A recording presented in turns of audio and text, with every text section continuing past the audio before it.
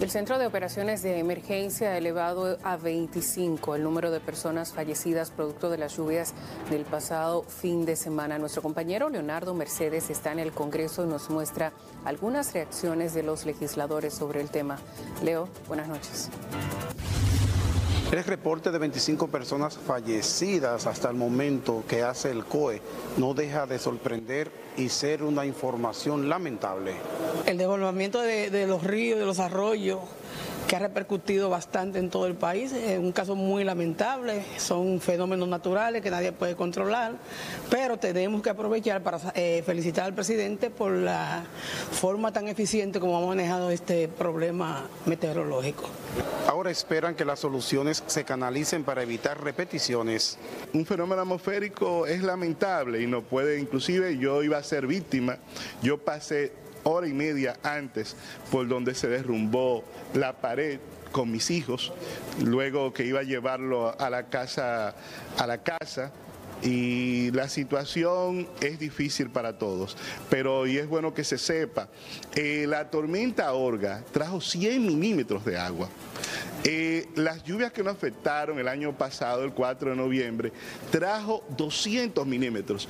Ahora estamos hablando de 431 milímetros de agua que cayeron en la República Dominicana. Era algo que no podíamos nosotros eh, conocer ni planificar ni, ni siquiera establecer que podía llegar a tal magnitud.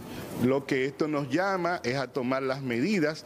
Producto de lo ocurrido, los diputados también pretenden sumarse a las investigaciones. Ya desde ahora nosotros desde la Cámara de Diputados vamos a hacer una resolución para que se haga una auditoría forense sobre todas las obras de construcción en los últimos 20 años, obras que tienen que ver con el sector público, su impacto. Vimos que ahí no había una correcta canalización de las aguas y que esto, con esta lamentable situación, nos sirva para tomar correctivo. Cuestionamos la falta de supervisión por parte de los legisladores a las obras públicas y la inversión que se destina en cada presupuesto.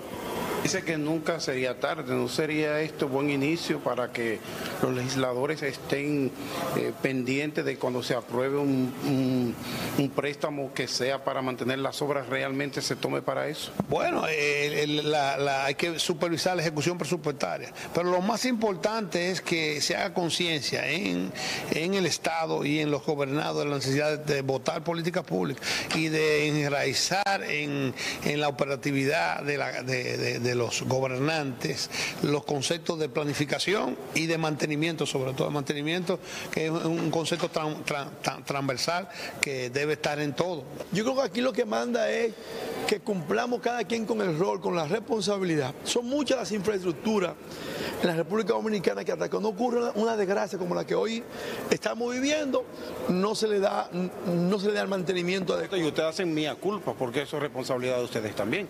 Bueno, lo que, lo que sucede es que el Congreso Nacional aprueba los presupuestos. ¿Quiénes lo ejecutan?